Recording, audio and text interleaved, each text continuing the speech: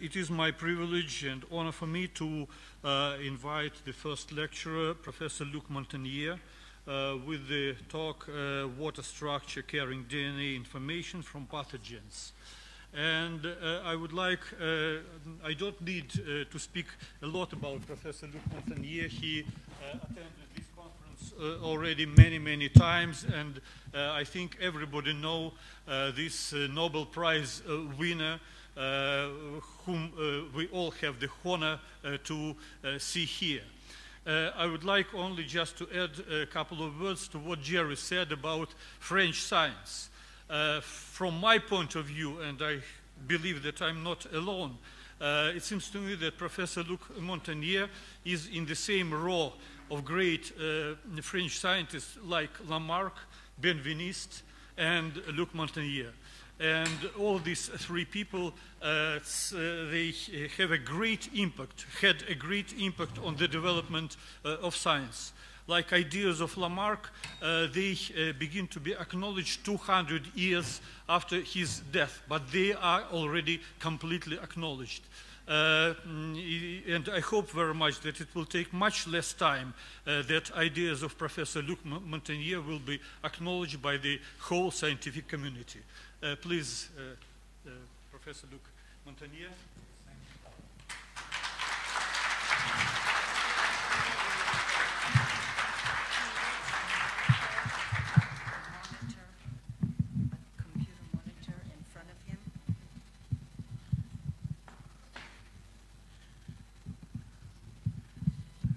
Good morning. I think uh, this uh, new meeting, which uh, now uh, occurs every year, I will uh, talk about re recent results which try to simplify the problem. You know, there are many problems raised by the water transmission of information, water memory, and so on. And uh, I choose actually to look simply at nature, especially in the world of microbes which are surrounding us, sometimes for good, sometimes for bad. And uh, I will show you that those microorganisms have invented water memory, water transmission of information before us. And I think nature gives us very good example, provided we have an open mind. And I think uh, people working uh, in this field have to have a very open mind because we are exploring new field which uh, sometimes uh, are uh, against the dominating minds and I think in the, in the, uh, at the end we will win. I'm not sure. I'm sure we will win because we are closer to the true, to nature. Okay, thank you. If I could have the first slide, please.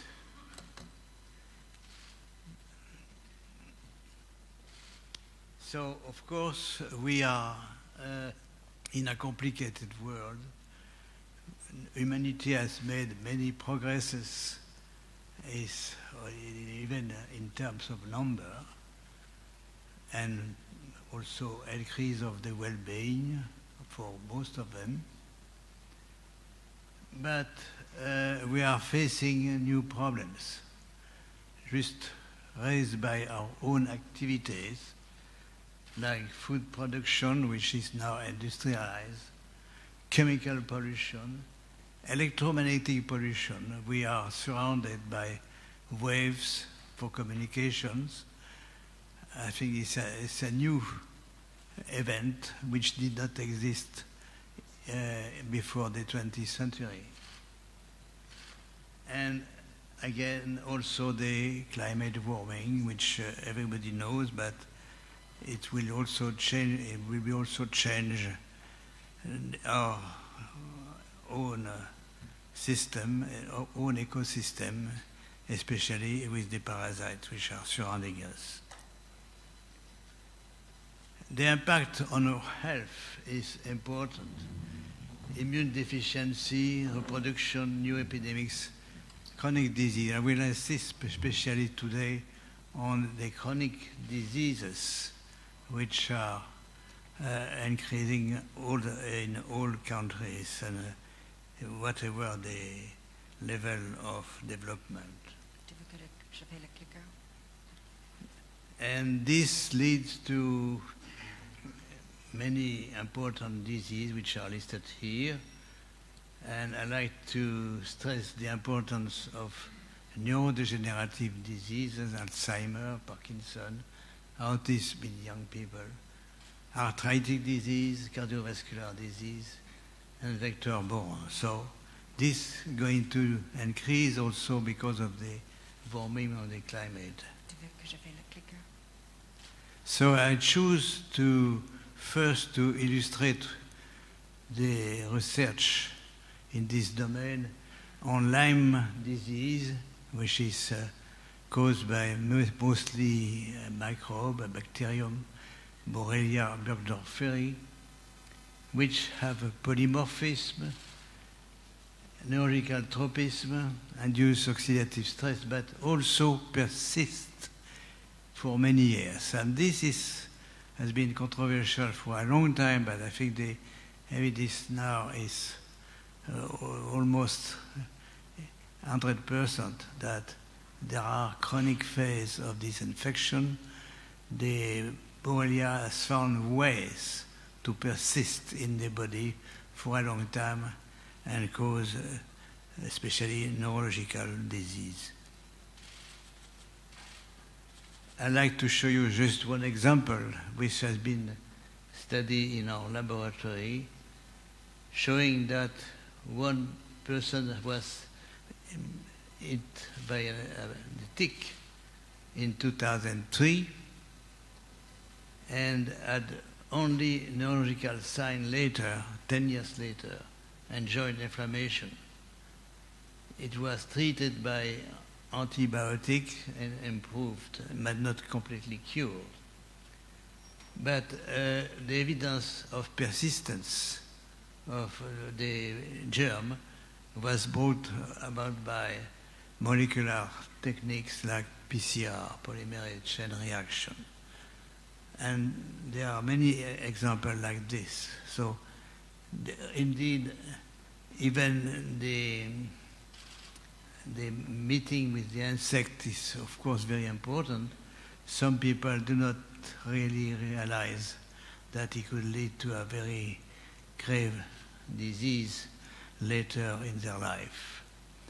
And it's not excluded that some new ways of transmission can occur, like the if the pregnant woman is infected, it could transmit the infection to her child after birth, or at the time of birth. I like also to stress that this is a very complex system, that in fact the mitochondria of the salivary gland of the tick is infected with another bacterium, a small bacterium, Rickettsia. Midichloria mitochondrii has been called by the uh, Italian uh, finders of this infection, which could also play a role in the disease. And there is also a, a worm which could hide uh, also in, in, in, the, in the tick. And this worm also may contribute to perhaps the aggressivity of the tick for biting. So this is a complex disease and there are also co-infection with other bacteria transmitted by the tick at the same time Borrelia.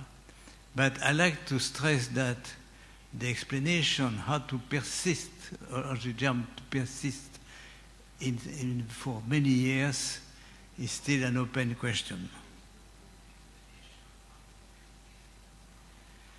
We study first this uh, persistency with classical PCR, which you show a model here in which the Taq polymerase are thermophilic, thermoresistant uh, enzyme, polymerase, DNA polymerase, can work many times after the opening of the double helix of some DNAs. And we are specially designed, uh, like others, some primers to recognize some part of the 16S ribosomal DNA.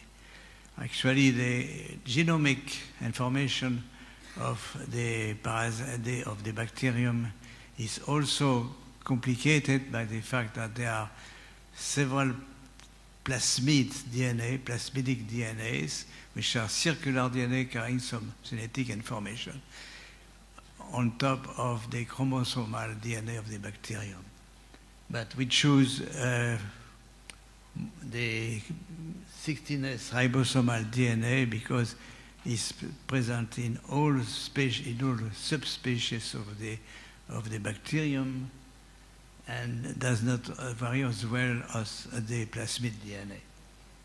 So in this uh, ribosomal part, there is uh, some conserved regions which are common to several species of Borrelia, but also some variable regions which we can uh, sequence and which will help us to specify the nature of the infecting germ in the, in a patient.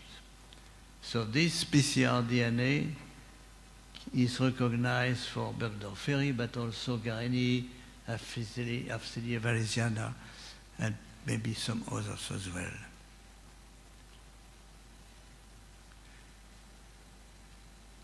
Just to show you that we choose finally the primers for a small part of this DNA on 499 base pair, which are put, put, uh, put there in a, in a green part. Uh, this slide is showing the high secondary structure of the ribosomal RNA, which is uh, uh, produced by this DNA.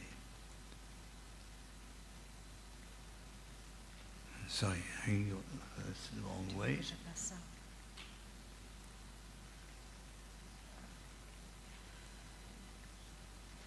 Okay, so this is the first part of our work, which is really classical, but the problem is we found the specific DNA bound by electrophoresis only in a minority of patients.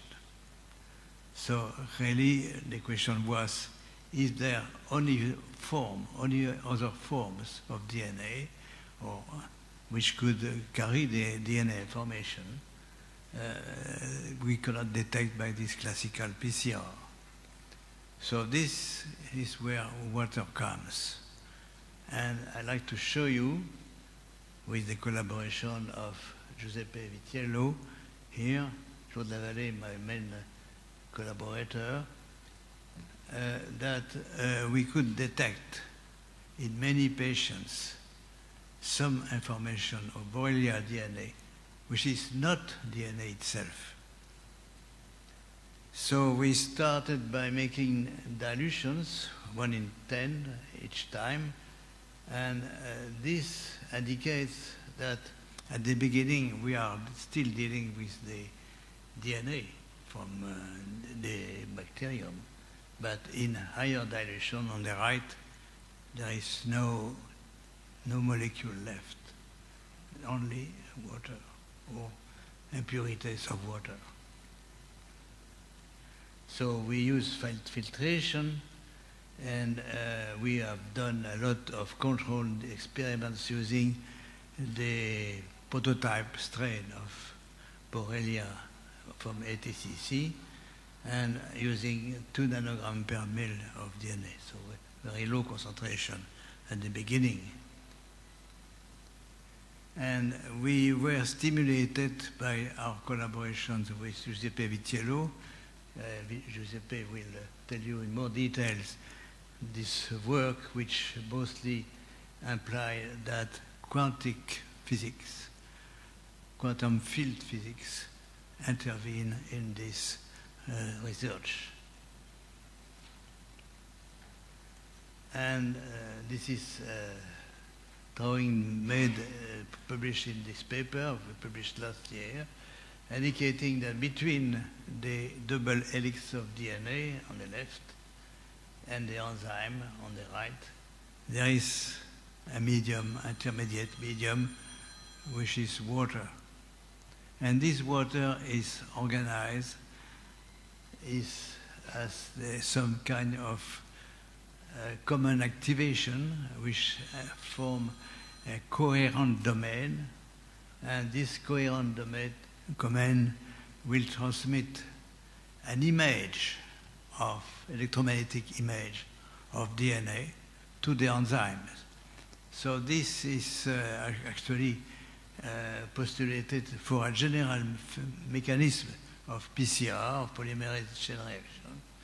He will explain why they, uh, by using some very small primers of oligonucleotide about 20 base pair, it is possible to recognize the complementary sequence on the Borrelia DNA among many, many form, many molecules of other things, uh, for instance, present in the plasma of the patient. So this would indicate there is some kind of uh, tuning, uh, resonance between some of the, pri the, primers and some sequence of the uh, species of DNA, the bacterial species of DNA. Next slide, please. Is me.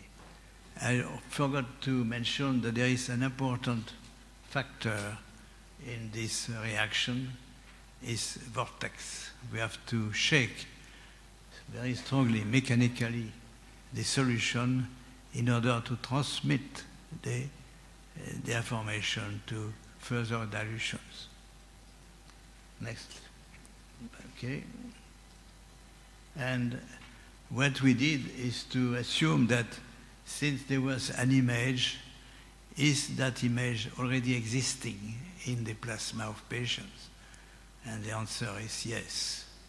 So we can actually make a new type of PCR, which we, which we call quantic PCR, in which we don't see, we don't recognize the DNA molecule themselves, but their image in, in water in the plasma.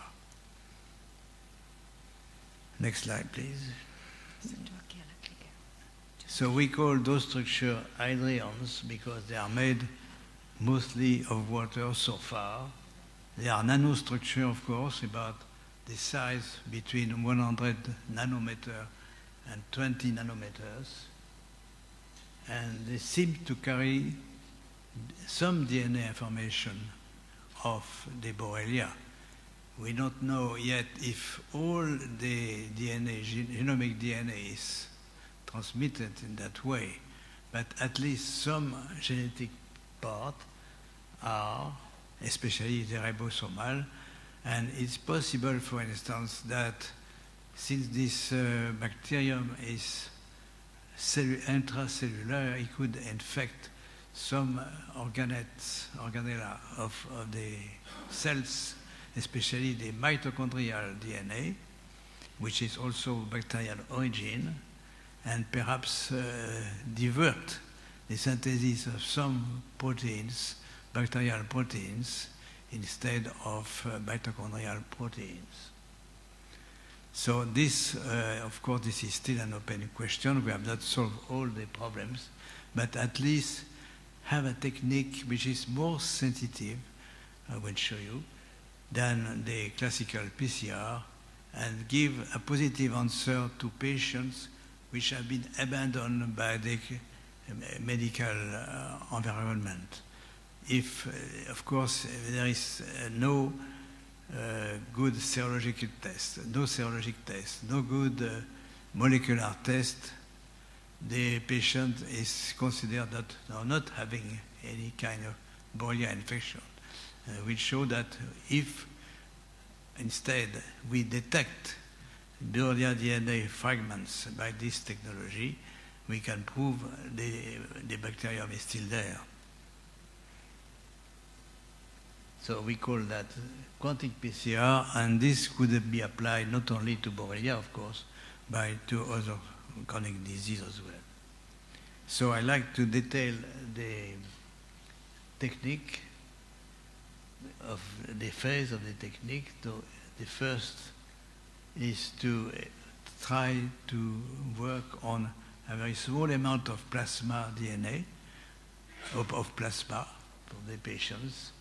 And if, even if we, we recognize the DNA, we don't do any DNA, DNA extraction. We work directly on the plasma, the total plasma. Of course, this plasma contains many proteins, enzymes, which can uh, inhibit the classical PCR, but after a few dilutions, uh, is uh, sufficient, sufficiently pure to make the reaction, the polymerase reaction, without any problems. And we do some filtration, and for again, vortex agitation at each dilution. And we do the PCR on each dilutions. So this, of course, is more time-consuming, uh, more expensive, but we use it when the classical DNA PCR is negative. And we can separate, like for the classical PCR, the DNA bands by agarose gel electrophoresis, stained with fluorescent dye, eventually cloning of that DNA to make sure we are dealing with Borrelia DNA sequencing by the Sanger technique. So this is, of course, time consuming, and, but this is the only way when the patient had all the clinical symptoms or some clinical symptom of Lyme disease, but is negative by PCR and negative by serology. So uh, we made some hypotheses for explaining the fact that the PCR, when it's done to high dilutions, cannot recognize DNA because there is no DNA left. So we think at each dilution there is some kind of reconstruction of the initial concentration of DNA or DNA images uh, after vortex agitation. And this may be like the formation of a liquid crystal uh, in uh, the solution. So this crystal will be have the same, same dimension, magnification at each dilution after the agitation, after the vortex. But uh, Dr. Vitiello will give you probably more refined explanation of what I'm just saying now. Just an illustration of some electrophoretic gels we have seen, we have shown. You see in this gel on the left the recognition of DNA, and is at only two dilution, two and three, in, in 10, uh, 10 times dilutions are visible, are active, but after that we start at dilution 8 to something which does not contain any DNA left. Calculation of the Avogadro number. But you can see in some of those high dilution, there is also a DNA band, and we check by, clo by cloning and sequencing that it was the same Borrelia DNA. And uh, we have stopped at uh, minus at, at 20, D20, but uh, I'm sure if we will continue, we will again have some bands in higher dilutions. So this is important because it shows you an explanation of homeopathy. You can indeed dilute without diluting. We could have dilutions at the same concentration as at the beginning, but more pure, probably because they uh, remove, uh, remove some impurities in, the, in that. But uh, again, this, uh, in this case, we have a transmission of the DNA ribosomal information by just uh, making high dilution with shaking. And this is another example of a patient who was positive for PCR, one dilution, but after that, nothing. And just at the higher dilutions, you can see the band, and a very strong band, indicating that there is complete maintenance of with magnification of Borrelia ribosomal DNA in those dilutions.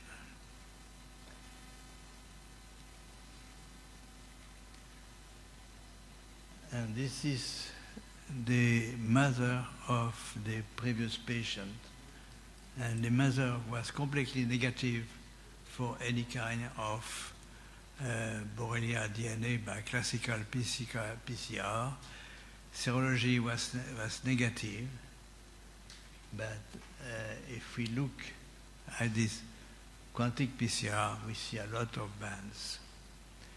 I have to explain that you can see uh, holes, uh, negative dilutions, but we have shown that they are apparently negative, but they can also transmit the information because after two more dilution, they become positive again. So there is, uh, we know a real explanation yet, but this phenomenon has been seen also in many experiments with homeopathy. And some dilution become negative, but we have to explain why. Another case of um, patient. And so, uh, again, we use this technology only when the PCR, classic, classical PCR is, is negative, and when the symptom, the clinical symptom, tell that maybe the Lyme infection is there. I'd like to show this because this is very important.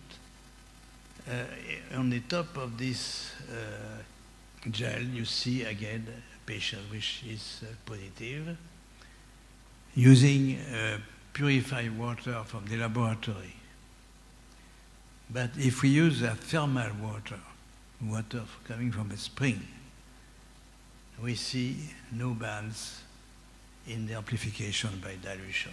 Only the DNA itself could be seen, recognized by classical PCR, but also by this technology, at low dilutions, but nothing in high dilutions. And we have uh, started to explain this difference seems to be due to some components of the hot of the spring water. So it's possible in the future that we can suppress this formation of uh, of uh, forms of water forms of Borrelia DNA just by exposing the patients to this uh, water. I'd like now to turn to a, another example of the application of this technology in a more complex disease in which several factors are involved. So uh, here I'm talking about autism, which we believe at the beginning is caused by the a normal transmission of an infectious microbe.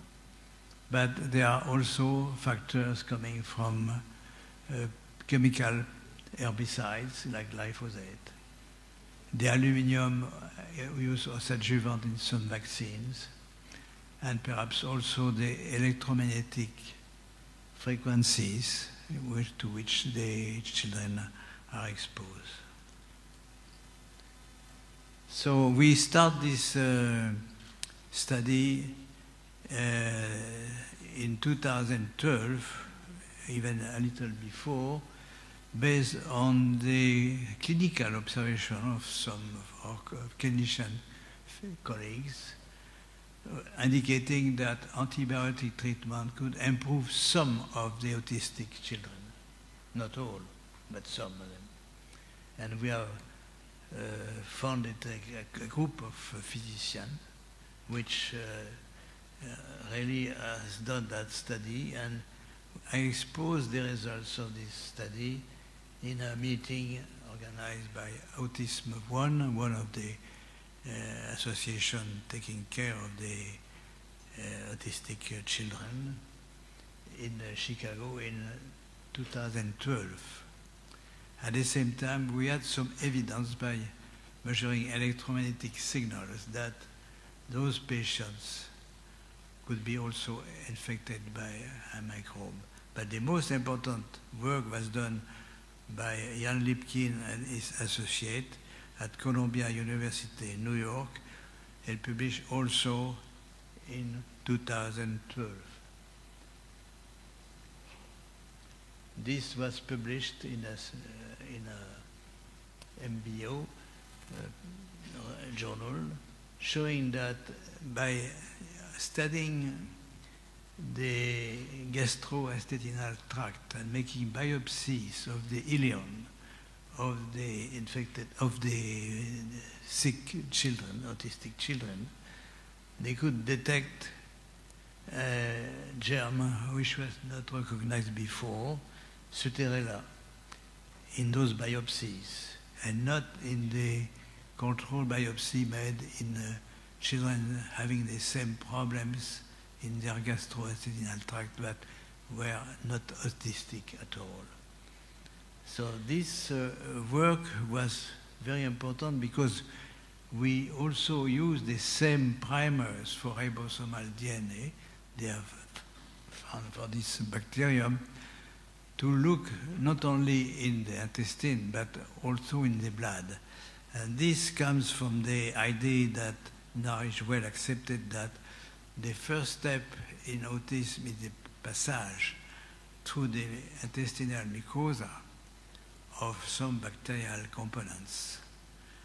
And this is, I think, shown right here. There is some passage from the gut to the blood, and then also from the blood to the brain through the blood-brain barrier. This should be normally controlled in that way, but for some other reasons, for, like other infection, it may be that the intestinal mucosa is partly open to the passage. And this uh, is probably the first step of a disease which now is impressive by the rapid increase of numbers since uh, uh, in the uh, United States there is one in 28 boys, less for the girls, which have this disease. So uh, this is really a, a public health problem, very important. And of course, we have to, to see which factors can cause this increase of permeability of the intestinal mucosa. It's possible that it's uh, linked to the intensive, massive use of herbicides like glyphosate. And this slide shows some correlation, and not causal, but some correlation between the increase of the consumption of glyphosate in corn and soy, soy culture in thousands of tons in the United States and the increase of the number of children with autism. So this may be one factor which will modify not the, directly the microbiota of the children, but maybe the microbiota of the animals uh, or the plants, which are now modified by the intensive use of glyphosate. And so we study the situation for quantic PCR of children with autism.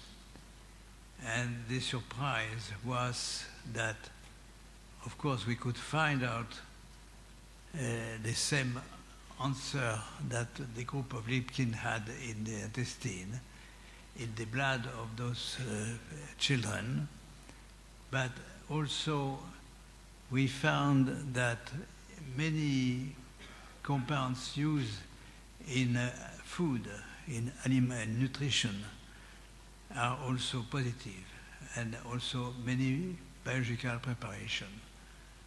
So it seemed that this DNA contamination, which was uh, due to several species, could be new factor of chronic disease, including autism. We uh, sequence the DNA recognized by PCR using the Lipkin primers, and we could see that a group of bacteria was found in the high dilutions by PCR. And this group of bacteria belong mostly to uh, no other bacteria, which is they are the Burkholderia. It's difficult to pronounce, but it's probably due to one of the uh, first uh, inventor of this, those species. But this would include many species, and we don't know it yet which species is important in pathology of, of those uh. But this is a clue again that also uh, brought by the quantic PCR that perhaps now we are contaminated, all the world is contaminated by this group of bacteria. For good or for bad, we don't know yet. But it's possible that those bacteria could play a role in, in disease, especially neurodegenerative disease. So I will conclude this work, which is uh, which has taken some time, but still preliminary, and uh, presentation by Professor Vitiello will explain in more convincing the details the importance of the quantum physics in that research. But I'd like to, to tell you the message now that we should, uh, even this is, the results are not what we expect, we have to take into account only the facts. The interpretation could change, but not the facts. And actually, if you not, we don't include the facts which are against our previous theory, it is not real science. And this, of course, will have some impact on, me, on, me, the, the medic, on medicine. Med- medicine should be based on reliable technology, more sensitive technology like the one we have described, for prediction, prevention, but we have also to take into account the relationship between the doctor and his patients, and the, the treatment has to be adapted uh, more to the person, not to the disease. And we should absolutely avoid any kind of iatrogenic medicine, disease and death caused by medic medicine, by ignorance. And that implies that we come back to the ethics of medicine, which is to have health prevailing on economy and not economy over health. And this implies that health should prevail on finance. I'd like to thank Dr. Lavallée, which has been the main researcher in this study, the Professor Vitiello for the conceptual part of this work, and my medical associate of Croниmen, in particular Dr. Corinne Kopska, and my collaborator Victor Nunez, my main collaborator Suzanne MacDonald, and also here, thanks to Emilia Zaneva. Thank you very much, and primum non nocere. Good luck.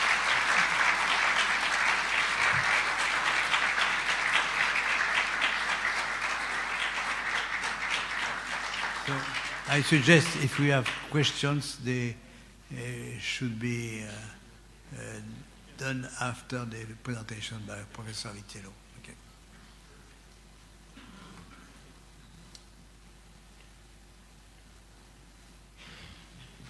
Thank you very much, Professor Montagnier.